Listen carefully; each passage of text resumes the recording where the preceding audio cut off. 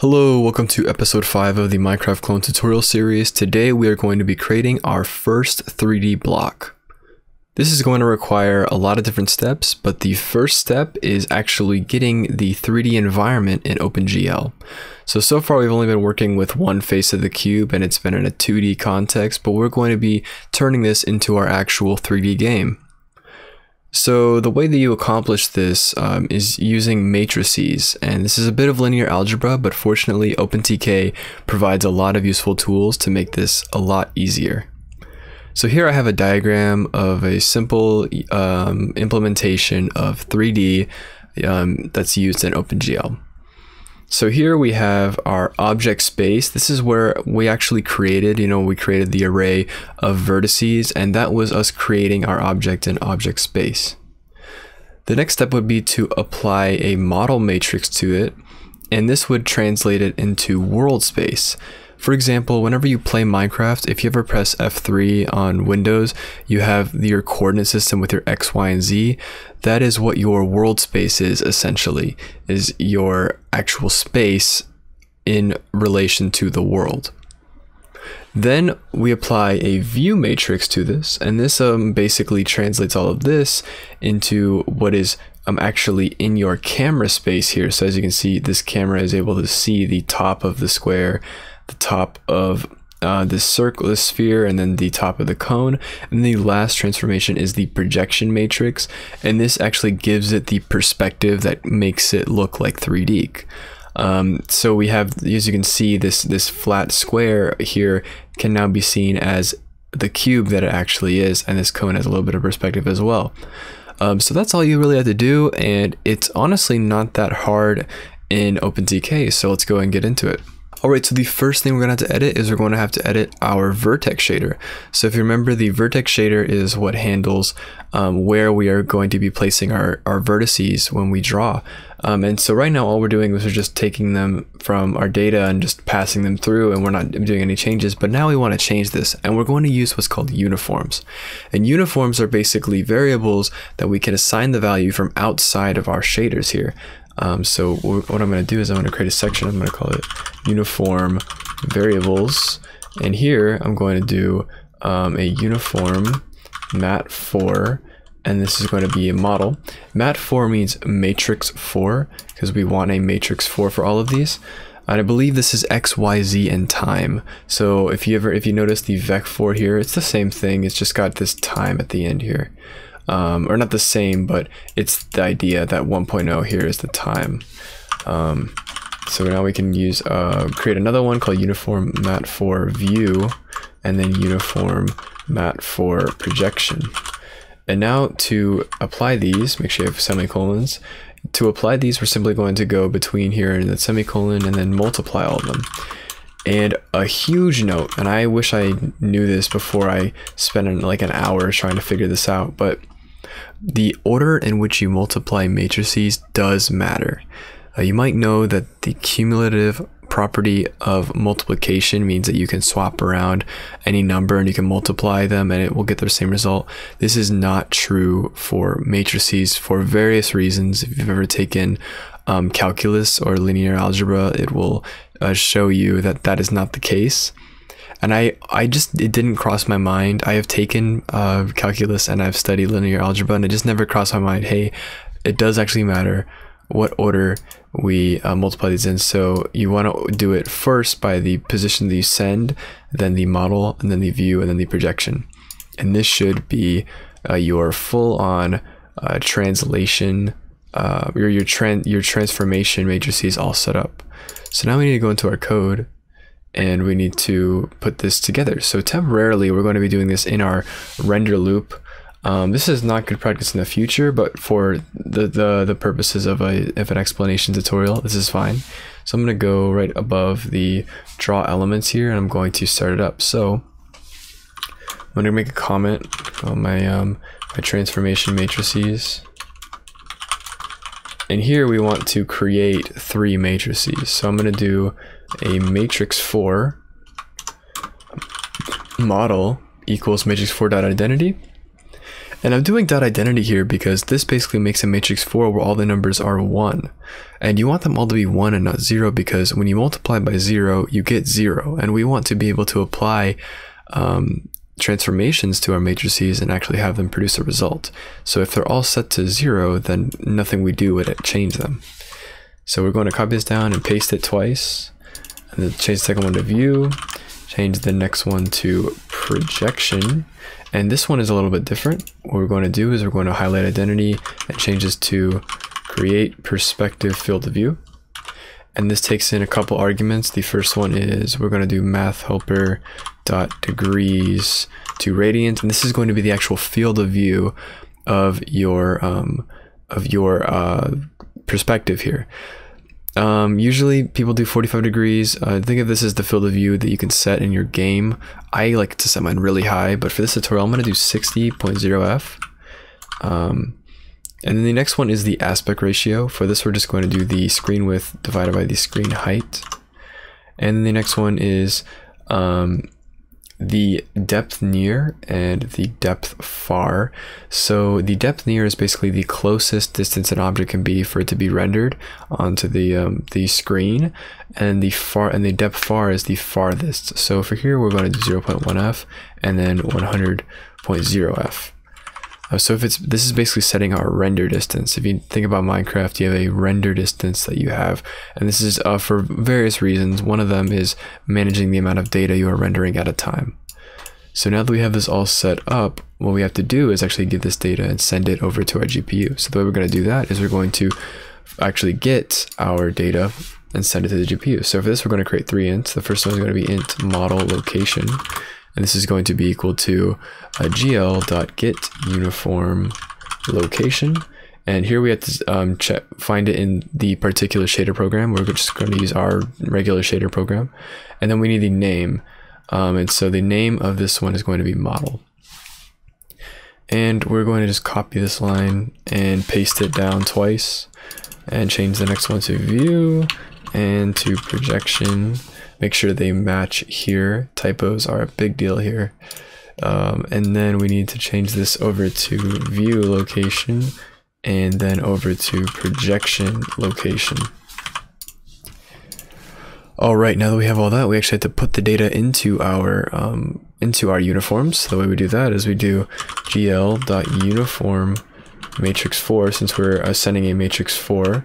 So this is uniform matrix 4 and then we need to specify the location we're sending this to. So we're sending um, to our model location. The transpose is true, and then we need to send the data.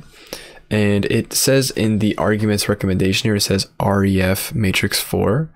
Um, and this basically means that we want to send it by reference.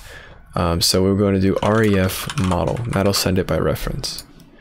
And now I just copy paste this two more times change this one to the view location, change this one to the projection location, then change, make sure to change these over to view and projection. And that's it, you're all good. So if we go ahead and run this, you will notice that we have nothing on the screen, and this is on purpose. Um, the reason is that we created our object with the z-axis being zero for all of our vertices.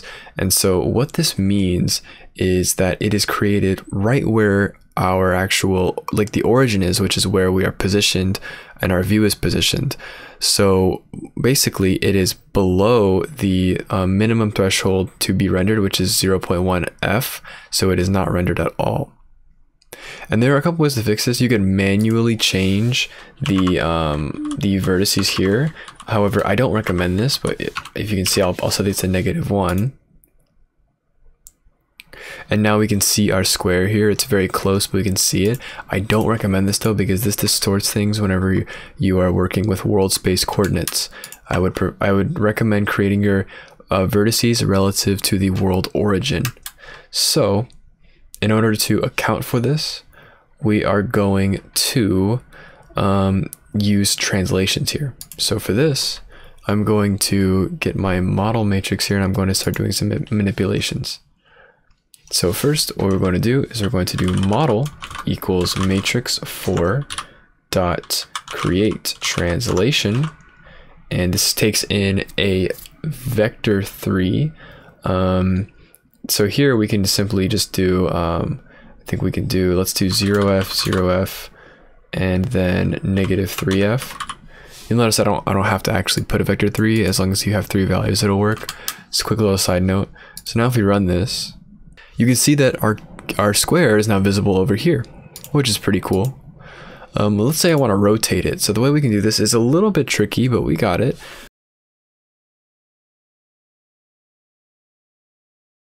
A matrix for translation equals this, and then I'm going to apply the translation afterwards. Okay. This should do something. There we go. Okay. So let me go ahead and explain what was going on there. I'm going to open up a little paint here. It's really important to visualize these things because it's uh it's it can be a lot to take in, especially in the beginning. So we have our square here, and this is the square that's being rendered. And whenever you um, are moving it in the negative z direction, it is moving in this direction away from the screen. Uh, let me make sure I'm showing this. Um, and so basically, you're you're moving it away. Um, but if you if you were to rotate it, it's using this origin point here for the rotation. So if you were to rotate it 45 degrees, it would actually move over to here and then be over here. And considering our, our render space, our screen itself is this, it is no longer visible. So instead, what we were doing here is we were actually pre-rotating it. So we created the square and then rotated it first to our specified degree and then we moved it back to the specified location so then it is rendered right here and then we have our screen and you can see it visible uh, in this correct location with the correct rotation. So that's pretty cool, that's pretty cool. Um, but now let's go ahead and create a simple little animation for this. Um, so what we're going to do is we're going to take this value and we're going to simply um, apply use a variable to increase it over time. So for this, I'm going to go to our instance field here and I'm going to create a new section. I'm going to call this, um, let's just say like transformation variables. Then I'm going to do a float y rotation equals 0f. And then here, what I'm going to do is I'm going to, instead of doing this static 45f, I'm going to do um, y rotation. And then I'm going to, afterwards, I'm going to do y rotation plus equals 0 0.01f. And we might actually do 0.1f, so it's a little bit faster. Um, but this should serve the purpose of um, rotating our cube. And maybe we should have done 0.01f. there we go, 0.01f. And as you can see, it now rotates. Um, pretty cool, pretty cool stuff. It is very, very fast though. So maybe 0.001f. There we go. Now we can actually see it rotating pretty well. So as you can see, we now have 3D space. But our cube is not one pane, a one sim one face. It is actually an entire cube. So let's go ahead and create this cube. Um, and for this, we're just going to have to modify our vertices, our texture coordinates, and our indices. Um, but I'm going to I'm going to go ahead and make a change to how we're creating our data because in the long run, you really don't want to be just writing them like raw floats like this. So we're going to make a change to how we are storing our vert vertex data because it's easier to move around different types of data than just raw floats. So what I'm going to do is I'm going to keep this as a reference temporarily. I'm going to do a list of vector3, which is a um, data type or a data structure that um, is provided by OpenGL, or not OpenGL, OpenTK. Uh, and then we're going to call this our new vertices. I'm going to underscore the other one so that we don't, it doesn't have a um, double de declaration error. And then we're going to do equals a new list vector 3. And this is going to, we're going to actually do open and close brackets here. And this is um, essentially the same thing as the array for our purposes, but it had some more functionality and it looks and is easier to use. So here, for all of our um, vertices, are, are, we're going to use a new vector 3 and then we're simply going to take our data here and we're going to paste it in here. And I'm going to make one change. So it wasn't um, noticeable there, but um, we want to like we want to actually have this in our actual origin. And what you'll notice is that we are um, making this cube so that it is um, negative 0.5 to the left of the origin and then 0.5 to the right for the right face but our z is a little bit in front because it is at zero. So we're going to offset it so that the furthest ones are 0.5 in front of the origin, and then the furthest ones away from us are 0.5, um, negative 0.5 away. This way the origin is in our actual center of our cube and not um, 0.5 offset like how it was because now the z-axis does matter. So in our new vector 3, we're going to do negative 0.5f, and I'm simply just going to copy this and paste it, and then just change these. So I'm going to do this clockwise. So this is the left uh, left vertex, the or top left. Sorry, this is the top left vertex this is the top right vertex. This is the bottom right vertex. And this is the bottom left vertex. And so that way we, it's a little, little easier to visualize. So this is that. This is over here, but there's a negative and then a negative here. That should all work. Um, texture coordinates we can also change. So let's go ahead and change that. We're going to do a list of vector 2 because we only have two. We have an X and a Y, or a U and a V, um, which is the the um, convention of how to how to uh, call them. And I'm going to create a new texture coordinates equals a new list of vector three. Same exact process. New vector two. Uh, this one we don't have to change um, because it's normalized. There's no there's no issues with origin or world space here. So we just copy them all down. Make sure they are all correct here and 0, 0. Add the semicolon, and we can go ahead and delete this old texture coordinates. And delete the old float vertices, so now it's a little more organized. Um, and then the indices are just a list of numbers. There is no actual organization of them in the terms of like an X, Y, and Z or an, or an X and a Y. They're, they're all just simply list of numbers. So you don't really have to change this. You can make it a list of unsigned integers, which I might do in the future, but for now, this is all you really have to do. So let's go ahead and adjust this in our code because as you can see, we now have some errors. Um, so what we're going to have to do is we're going to have to adjust how we are creating this our uh, VBO.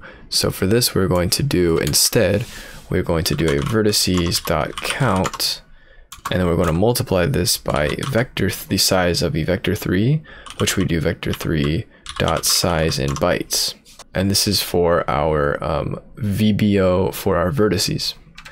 And then for our texture coordinates we want to do a little bit different. We want to do our texture coordinates dot count multiplied by a vector 2 dot size in bytes and then for the actual um, data, what we actually have to do is we have to do dot to array and dot to array. And this is my, this is just, by the way, this is not a required step, but I do highly recommend it. Uh, it just makes it easier whenever we're going to be creating our own structs. Um, it'll be a little bit easier to use our data here. And I believe that is all we have to do now with that, let's go ahead and make sure that our code still works here. So I'm going to run it. And we do still get our block. Although as you can see, now it is rotating um, not about the faces, um, the faces center x z axis, but the actual block. So you can see it's kind of rotating like in like a merry-go-round situation. This is because it's accounting for the actual size of the block. So let's go ahead and make the block now the final step in creating this. So for this, Unfortunately, we cannot just create um, eight vertices because each of these faces have their own unique texture coordinates, so we have to account for it. So what I'm going to do is I'm going to do left face, or not left face, I'm going to do front face, and then I'm going to do, let's say, right face, and then I'm going to do back face, and then I'm going to do left face, and then I'm going to do top face, and then I'm going to do bottom face. Um, and the exact same thing for the texture coordinates. However, the texture coordinates are literally the same for all of them. So you could just, you could copy it correctly first and then just do that three, four, five, six, since there are six faces in the cube. And then here, we just have to take this and then manipulate them for each face. So this does seem tedious, and it kind of is, but it's not as bad as it seems because a lot of the vertices are the same, so it's not too bad. So now it takes a little bit of brain power here to, to think about how we're going to do this. So we have to think about this in the context of how we create coordinates in OpenGL.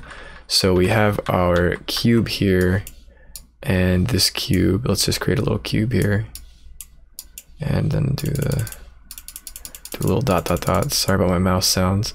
So this is 0 0.5 and this is negative 0 0.5. So how are we going to create the, and this is negative 0 0.5 here, um, in the y uh, I should specify. Yeah, this is 0 0.5, 0 0.5. And then this is negative 0.5, but it is 0.5 over still.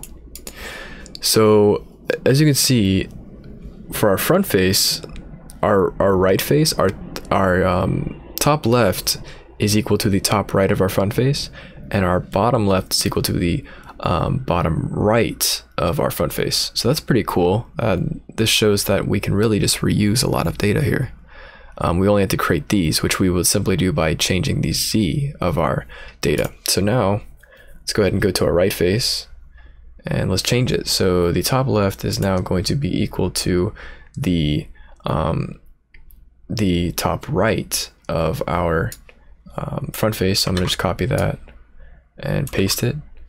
And then the top right is now going to be equal to that, but further away in the z-axis. So we're going to change that to a positive 0.5.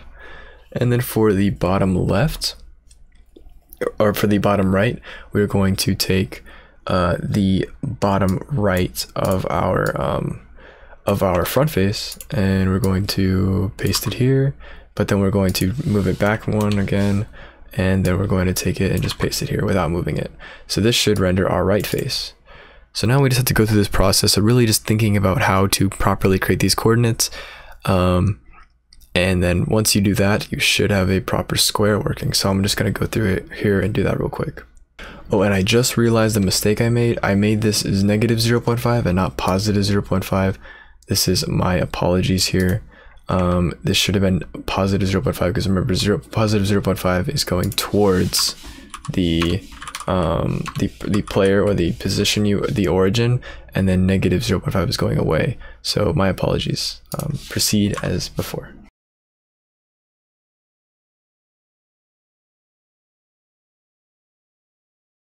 All right, now all of the vertices should be set up hopefully correctly. So let's go ahead and um, get the indices now set up. So for this, it's going to be a very simple process. So we're going to um, have the first face and all that all set up here. But I'm simply going to do this. So you see this pattern here, we go 0, 1, 2, 2, 3, 0. So we do first, second, third, third, fourth, first. It's, it's just that same pattern over and over and over. So we're going to simply increase the second to last one of our face by one and then go up to um, three more than that and then decrease to the first one we started. So it's going to be, for example, for the next face, it's going to be four, five, six, six, seven, four. And the next face is going to be uh, um, 8, 9, 10, 10, 11, 8. And the next face is going to be 12, 13, 14, 14, 15, 12. And the next phase is going to be uh, 16, 17, 18, 18, 19, 16. And I believe that is only five, so one last one. We'll do uh, 20, 21, 22, 22, 23, and 20. And this should be correct because this is 24 vertices. And if we have four vertices per face and there's six faces, that is 24. So if you're drawing 24, that is absolutely correct. So now we should have set this up so that when we draw, we are drawing the amount of vertices inside of our indices here. So if we run this, cross our fingers, we have a cube. What you'll notice about this cube is that it looks really weird. And this is because of the way that we're rendering. OpenGL doesn't know the how to actually tell what is in front of itself by default. It actually picks a random order of what vertices to draw and like what and which ones to layer on top of each other. So we have to change this. And the way we're going to change this is literally two lines of code. So what we're going to have to do is on the on load here, at the very bottom of the code here, we are going to do one additional um, thing here. We're going to do gl.enable, and then we're going to do enable cap depth test. And then in the um, gl.clear, we are going to go space, and then we're going to add this uh, straight line here. And then after that, we are going to do another one. We're going to do clear buffer mask dot depth buffer bit. Now when we run it, we have our proper cube here. And I think that's pretty cool. So there you go. All good there. So that's pretty cool. Um, we can do some more things. We can move around and stuff. Um, we can move our cube and all that sort of stuff. But I'm going to save that for the next tutorial where we are going to be creating the camera class that is going to allow us to move around in 3D space. So with that, I hope this was useful. I'm going to, as always, provide the code in GitHub with all of the necessary comments as um, well as I will be answering all questions on my Discord server. Um, just I'll be on there every single day, so just uh, ping me, ask me the questions, and I'll um, definitely answer you as soon as I can. So thank you very much. Have a, have a good day. Stay tuned for the next tutorial. See ya.